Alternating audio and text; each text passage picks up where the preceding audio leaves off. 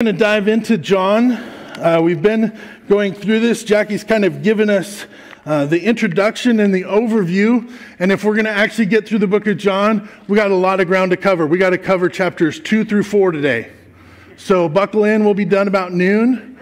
Um, no, there's no way we could do all that.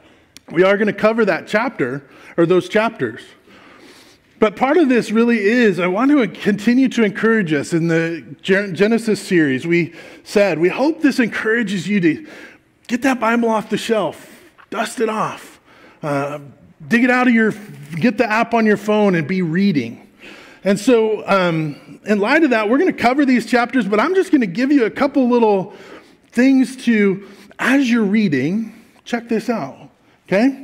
So we've finished chapter one. We're headed into chapter two. Chapter two uh, starts off with a relatively common, well known story. If you've been around church, if you've been around the Bible and stuff, you know the wedding um, story. This was the first sign. John chapter 2, verse 11 says, This is the first sign that Jesus did at Cana in Galilee and manifests his glory. And his disciples believed in him. This is the story where he turns the water into wine right? so as you go back and read this, I want you to think about this question What is the glory that was manifest in this miracle? And here's a hint. If you think it just simply is that it shows he has the power to turn water into wine, uh, make sure you go back and read what he tells his mother. Aaron's paraphrase is he tells mom, I'm not a magic show, right? So as you read it, though, try and answer that question. What is this glory? What is the purpose of that story? What is Christ trying to reveal as he does turn water into wine? What is this glory that gets manifest? Um, so you get to read that one on your own, and there's your, your, your questions to do that in your own personal discipleship. The next section, uh, we see Jesus prophesy. Do you know Jesus was a prophet? He does. He says, This is what's going to happen. Watch for it. He says, I'm destroy this temple. In three days I will raise it up. He and that later in that verse, he says he was speaking about the temple as of his body. When therefore, when he was raised, his disciples would remember this and see. So he sets a prophecy forward. So that's the next little section in the end of chapter 2. Chapter 3 uh, we get this famous story where Jesus teaches one of the teachers. How many of you remember or draw the parallel that one of the most, if not the most famous verse of the Bible falls in the middle of this teaching? John 3:16 is a part of the story and the teaching that Jesus is giving to Nicodemus. It's kind of interesting. I, I, I don't always think about that, but it's right there. That's a part of this teaching that he's giving to Nicodemus. Another thing that I really would love for you as you read through that, because we're not going to spend a lot of time here today, um, we're just going to spend this little bit of time, is hindsight is 2020. In it, it talks about, Jesus says, if the Son of Man uh, be lifted up, or that uh, the Son of Man must be lifted up as the bronze snake was lifted up. And when we look back, we can very easily see the parallel between the story of the bronze snake, which happens in Exodus, and you can go back and look at that one. But in it, there's a plague of snakes, and God says, Moses, build this bronze snake, put it on a pole. If people look at it, they will be healed. Um, and Jesus in this teaching says, likewise, the Son of Man must be lifted up. As we look back, we see immediately the parallel between the bronze snake and Jesus on the cross. But Jesus on the cross hadn't happened yet. So that's not exactly the parallel that Jesus is trying to get Nicodemus to draw. He's asking Nicodemus to draw a different kind of parallel. Um, so have a little fun, dig into that. What is the parallel that he's asking Nicodemus to look at in regards to the bronze snake? Um, so Nicodemus comes, and then uh, as we continue through three, uh, we end up the end of that chapter uh, talks about John the Baptist again, and John the Baptist talks about his legacy. As his disciples were coming and they're talking about Jesus, John answers and says, A person cannot receive unless one cannot receive even one thing unless it is given from heaven.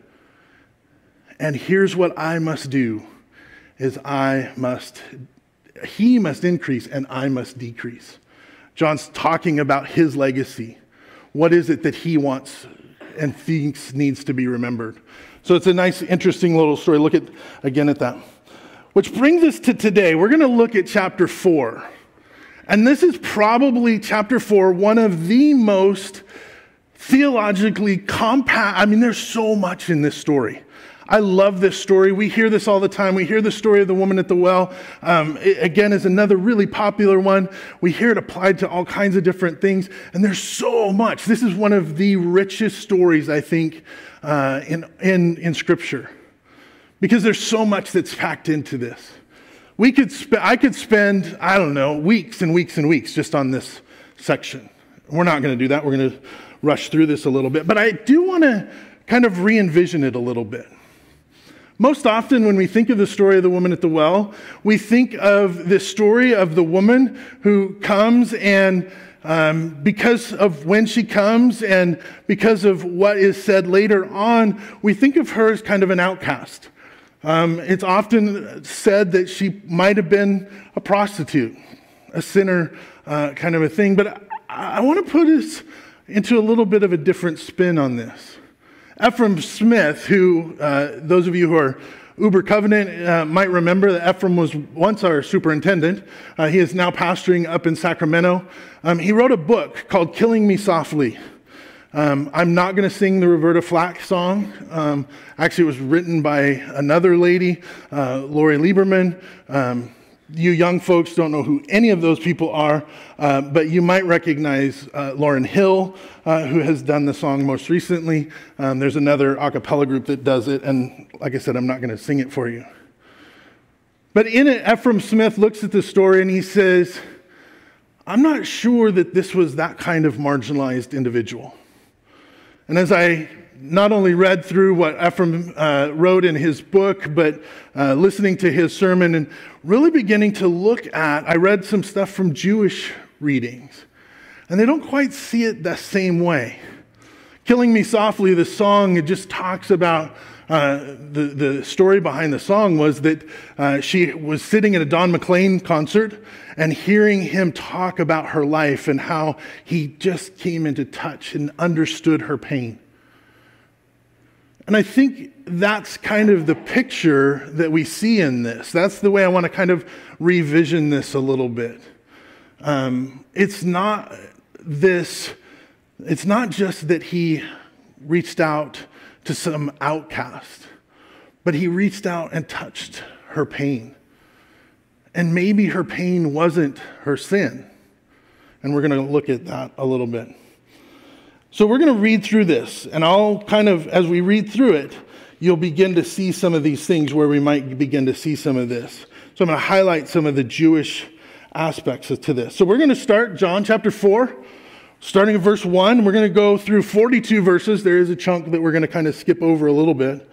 But let's just walk through this. John chapter 4, verse 1 says Now, when Jesus learned that the Pharisees had heard that Jesus was making and baptizing more disciples than John, although Jesus didn't actually do the baptizing, his disciples were the ones doing it. He left Judea and departed again for Galilee. And he passed through Samaria. So he came to the town of uh, uh a, he came to a town of Samaria called Sychar, near the field that Jacob had given to his son Joseph. Jacob's well was there. So Jesus, weary from his journey, was sitting beside the well. It was about the sixth hour. Now, there's some significant things in this as we read through this that we go, okay, yeah, that's really nice. It gives us the location and all that kind of stuff. But to a first century Jewish reader, there's some pretty strong significance to this location. It says that it was at Joseph's well. Well, for the Samaritan Jews, and I say that because as I began to read and understand the history and the complexity of it, um, that's kind of the way that they saw it. The Samaritans didn't see themselves as separate, they saw themselves as Jews. But the Judeans, these elite of class, saw them as uh, half because they believed something a little bit different. They didn't believe that the temple was the center of worship. They believed that the mountain where Jacob dug and lived and set the well was the center of God's interaction with humanity. And so they argue back and forth. This is one of the main reasons why the Jews hated the Samaritans. The Jews being actually this ruling class. The Samaritan group wasn't didn't see themselves as separate. One of the readers I was looking at said, It's akin to what we see today in our Muslim communities. We look at Muslims and we see Sunnis and Shiites, and we go, They're Muslims. But if you ask a Sunni or a Shiite, they're going, Nope, we're completely different. That's kind of the same idea with these Jews versus Samaritans. When we actually look at them from the outside, they actually are keepers of the law. They're followers of Torah. They're, they're devoted to Moses. But they saw themselves as different because of this worship piece, and they hated one another for it. But when, you, when a Jew would read this, they're going, wait a minute, Jacob's well is significant. That represents the living water that God brings to life. Not only was it the well, but it says that it was the place that Jacob had given to his son Joseph. This was the place that Joseph was buried. Joseph was buried very close by. And so, uh, for a first century Jew in that time and, and space, this was a reminder. They would recognize that this was a place that that living water would give restoration to the suffering. The Jews recognized Jacob's story and the story of suffering, that unnecessary suffering. He didn't deserve the suffering that he went through at the hand of his brothers. And yet, God was there with him in the midst of that. This is the picture of where Jesus, to a first century Jew, this is the picture of where Jesus is at when he starts to say this. This is the context. The other little thing is often we see that sixth hour and we say, well, see, it's late in the day. And that becomes part of why we say she, was a, she might have been an, a social outcast because, because she came at the sixth hour. Um, maybe. Uh, if we remember back to Genesis, Rachel came to the well at the sixth hour as well. And she wasn't coming because she was a prostitute. And so um, there's the, the Jewish rabbi that I was reading through said uh, that actually may not, uh, that could be a relatively common thing because it doesn't say it was summer, doesn't say that it was the hot hour, and Rachel came at that time too, so it doesn't really give us that indication. Not that she was, you know, I'm not trying to say that way we've thought about it was wrong, but just some interesting things in that context of how a first century Jew might be reading this at this point. So let's read on. A woman from Samaria came to draw water. Jesus said to her, Give me a drink. For his disciples had gone to the city to buy food. The Samaritan woman said to him, How is it that you, a Jew, and in the Hebrew, this is actually you, a Judean. She was calling a very specific Jew, one who is a Judean who believes that the temple is the center. How is it that you, a Jew, ask me for a drink, a Samaritan woman? For Jews have no dealings with Samaritans. Jesus answered her, If you knew the gift of God and who it is, who it, I don't know, if you knew the gift of God and who it is that is saying to you, Give me a drink, you would, give, you would ask him, and he would give you living water. The woman said to him, Sir, you have nothing to draw water with, and the well is deep. Where would you get this living water? Are you greater than our father Jacob? He gave us this well to drink from, as, as did his sons and his livestock. Again, in there, she's responding because in her mind, this is sort of Jacob's well represents living water, the way in which God provides. Who are you saying that you're going to provide this? I'm at Jacob's well. Jesus said to her, Everyone who drinks this water will thirst again, but everyone who drinks of the water that I will give him will never be thirsty again. The water that I will give him will become in him a spring of water, welling up to eternal life. The woman said, give me, Sir, give me this water so that I may not thirst or have to come to draw water. The Jewish author that I was reading this through, he says, We look at this and we see her kind of arguing, but again, if we think about where the symbolism of where they're at and why she's there, he's going, What if she's talking about her pain? What if she's coming because life's difficult? And we haven't heard yet about her husbands, which we often use to make the explanation that maybe she was a prostitute because she had multiple husbands. But this Jewish author says, what if she wasn't somebody who was sexually promiscuous and all that kind of stuff? Because in Jewish culture, women can't initiate divorce, it had to be the men. What if she's coming in because she's had multiple husbands and that kind of stuff because they've died? And she's coming and she's depressed and she's hurting. One of the things that I didn't mention before is that Sychar and this place is also a city of refuge. It was a refuge city in their time. Refuge not meaning that if you were under the under persecu- uh, prosecution that you ran away, but just simply a place that if you were broken, if you were hurting, that's where you would go to find comfort and peace and rest. It was kind of a welfare city where if you needed things, you would go and you'd be taken care of.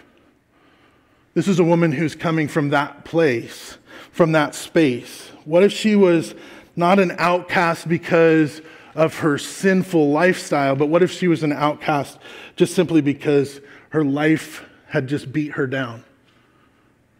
What if all she was a multiple time a widow and she's just coming depressed? These are marginalized people. This is when Jesus says to her, Go, call your husband and come here. Then the woman answered him and says, I have no husband. Jesus says, You are right in saying that you have no husband, for you've had five husbands, and the one you are with now is not your husband. What you've said is true. And look at the woman's response Sir, I perceive that you are a prophet.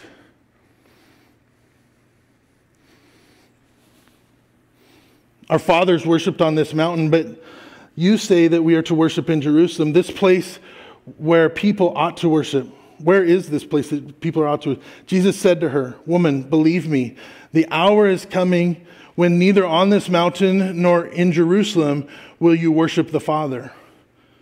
You worship what you do not know, we worship what we do know. For salvation does come through the Judeans. But an hour is coming, and this is one of my favorite phrases, and has now come when the true worshipers will worship the Father in spirit and in truth. For the Father is seeking such people to worship him. God's, God is spirit, and those who worship him must worship in spirit and in truth. The woman said to him, I know that the Messiah is coming, he who is called the Christ. And when he comes, he will tell us all things. And Jesus said to her, I who speak am he. These are some of my favorite passages. These are some of my favorite verses. In terms of that song, part of what Ephraim Smith says, and even this Jewish author, he says, this was Jesus seeing her pain. And not only did he see her pain, but he calls it out. You're right. You don't have husbands, they've all died. And you're in pain. In fact, you're having to live with somebody just to make your existence, just to make it happen, just to live. The song says, strumming my pain with his words. And Jesus saw this woman. He saw her pain. He saw her hurt. And he calls that out. And he says, I see you, and the Messiah is here. a time is coming and has now come. This heartache, this hurt, he sees her, he speaks to it. And when, he, when she realizes who's standing before her, let's look at her response. Just then the disciples came back. They marveled that the woman was talking to her, and no, but no one said it. What, what are you seeking, or why are you talking to her? The woman left her water jar, went away into the town, and said to the people, Come and see the man who has told me everything that I ever did. Can this be the Christ? They, the town, went out of the town and they were coming to him. Many Samaritans from the town believed him because of a woman's testimony. He told me everything that I ever did. So the Samaritans came to him. We, sorry, we jumped over some verses in there. Um, there's a, a piece where the disciples have a conversation with Jesus, trying to make him eat. And he says, I'm too busy to eat. I'm too busy. Don't have time to eat. But many of the Samaritans came because of her. So when the Samaritans came to him, they asked him to stay with them, and he stayed for days. And many believed because of his words. They said to the woman, It is no longer because of what you said that we believe. We have heard for ourselves, and we know this indeed about the Savior. We, we know indeed this is the Savior of the world. Does a woman who has a reputation for being a prostitute and sexually promiscuous have that kind of influence? It's one of the questions that the Jewish author brought up. He says, wait a minute, if we, if we read it as she's this prostitute, why would people even begin to listen to her? But if they know that she's a woman in pain and she's coming and she's sharing how the Messiah has touched her, has seen her pain and comforted her, they know her. They, this is one of their own, this is one of their friends, and they listen to her. They hear her and they say, Let's go. Let's go hear this Jesus as well. Christ is here to touch our pain. And I'm not saying that the way we've read this scripture is wrong, that she's not a prostitute. She very well may have been. That's just as powerful of a story. Because sometimes we are. We're, we're the sinful ones, and, and we need to know a Messiah that, in spite of our sin, will love us and reach out to us, will cross these boundaries and borders to touch us. That is true and an accurate reading of this passage. But I also think that this is an accurate reading of this passage. That this is a woman who was broken and hurting. She was there because she couldn't drag herself out of bed that morning because of the depression. She was an, a part of an outcast community they all were marginalized, and people, those are them. And this is the Jesus who comes and says, I see your pain. I know where you're at. I feel your heartache. And I want to offer you living water water that brings life and life more, back in chapter 3, abundant. Jesus is, is touching this person, strumming uh, the, the, the song again, killing me softly. This woman in that song is sitting there hearing these words, and it's just touching her soul because you see my pain, you understand my hurt, and you want to reach me.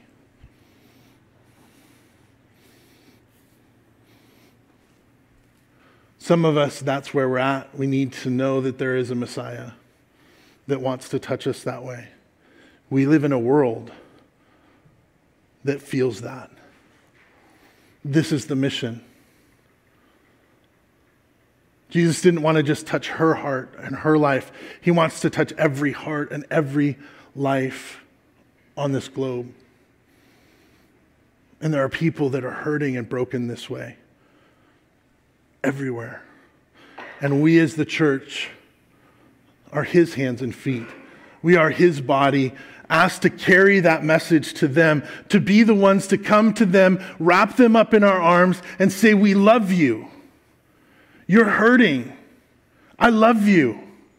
I'm not here to f- tell you what you've done wrong. I'm just simply here to love you. We'll worry about that later. I love you. We're his hands and feet. This is, not only are we doing that, but this is our mission. Evangelism is not complicated. If you've experienced this living water, share it. Tell somebody what God has done in your life, how God has reached in and met you. If you have experienced this, talk about it. If you haven't experienced this, God is asking for you. If you've experienced this and you're not sharing it, have you truly experienced it? This is mercy, this is grace. I'm going to close with this little video. It's a song um, that comes from a band called Beautiful Eulogy. And it actually is music, it's, a, it's a, another pastor talking about this experience, this love and mercy. You might be in the place where you need to feel that love and mercy today. You need to hear Jesus say, I love you. You're hurting, you're broken, and wrap his arms around you. Some of us are in the place that we've experienced that, and we need to be told, then get out and share it. We're going to close with this really quick. Go ahead, Sam. Are you merciful? Because Jesus healed the sick. Because Jesus fed the multitudes.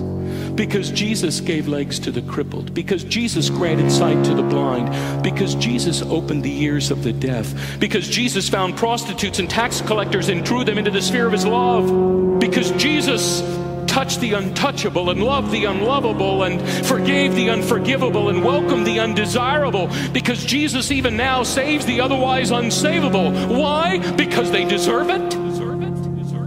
When the goodness and loving kindness of God our Savior appeared, He saved us, not because of works done in righteousness, not because we met Him halfway, not because we took the proper steps forward and in good faith have elevated ourselves to the place of the deserving poor, but according to His mercy. We are here because Jesus Christ didn't say with cold indifference, give them what they deserve. They brought it on themselves. Jesus Christ is the mercy of God. And seeing us in our misery and need, He doesn't just feel for us, He takes the necessary action to relieve our distress. He leaves the eternal glory of heaven and the perfect fellowship of the Trinity. He condescends to us, lives among us, suffers like us, dies for us. Do you understand this? Have you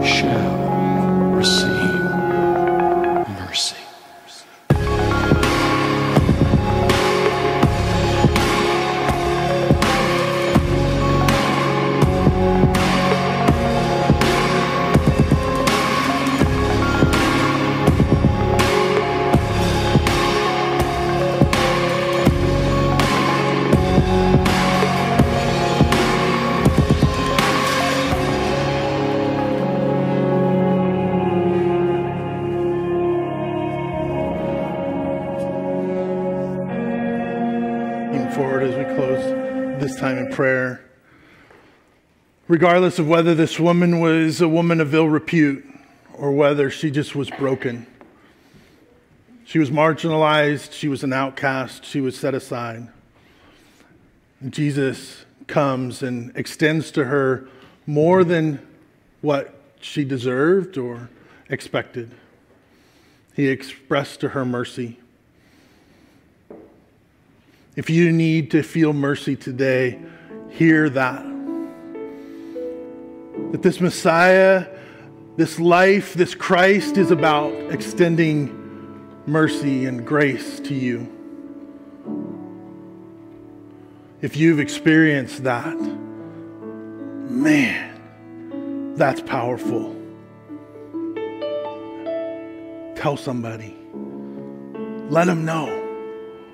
Don't keep it quiet. Get excited. God wants to move in this world. And that's all you have to do is tell your story of how God touched you, is touching you. Let's close in prayer. Father, we do come. We thank you for sending your son so that these stories can be possible. You didn't just create a world and set it in motion and walk away. You are actively participating in the world today. You sent your son to pay the penalty, but not just the, to be the penalty, to pay that penalty, but to bring to us transformation. It is here, it is now. Heaven is not something we're going to get to. You brought heaven down. Heaven is now, and it is in us. Those of us who are being transformed, who are living into your mercy, Lord. Lead us, teach us, not for our sake. We must decrease that you will increase that you are glorified. Lord, teach us to be your light, to be your truth in the world today. We pray this in Jesus' name. Amen.